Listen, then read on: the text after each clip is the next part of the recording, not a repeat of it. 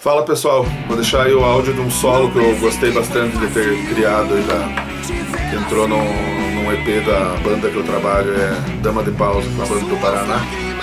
É um solo da música Impressões, é uma releitura de uma música antiga da banda. Foi, foi terminado de gravar e lançado em 2016, tá? Vou deixar aí no canal e de repente essa semana eu faço um vídeo mostrando como é que eu inventei, ó, as técnicas que eu usei. Eu achei que o resultado ficou, ficou bem legal. Aí. Falou, um abraço.